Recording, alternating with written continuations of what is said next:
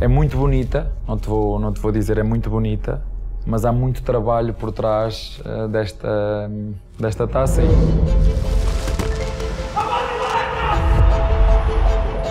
O gol da glória eterna do Palmeiras nasceu aqui na Fazenda Coutos 3, no campo do Realce.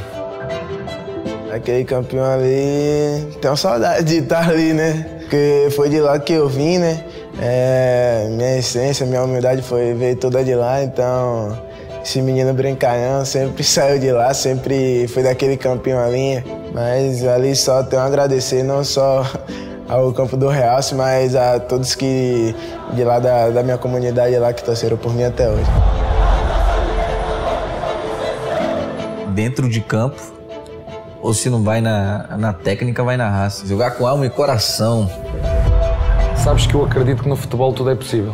Eu vi o River Plate a carregar as garrafas de champanhe para festejar a passagem à final, porque acreditavam que iam passar à final. Eu vi, eu vi com os meus olhos. Eu lembro do Breno com seis anos, o Breno já, já fazia coisas diferentes de menina daquela idade com, na, com a bola. Que o sonho dele era jogar na equipe de forte, uma equipe de primeira divisão e Deus ressaltou isso que foi pro Palmeiras. E aí eu chego no Palmeiras e muita dificuldade em adaptação, é, sofri bastante críticas, né? É, muitas pessoas falaram que eu não ia durar três meses aqui.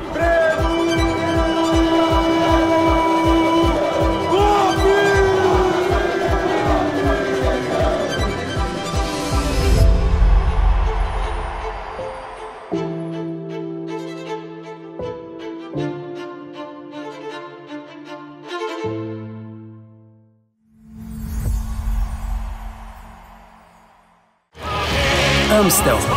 Todos unidos pela mesma paixão. Beba com moderação.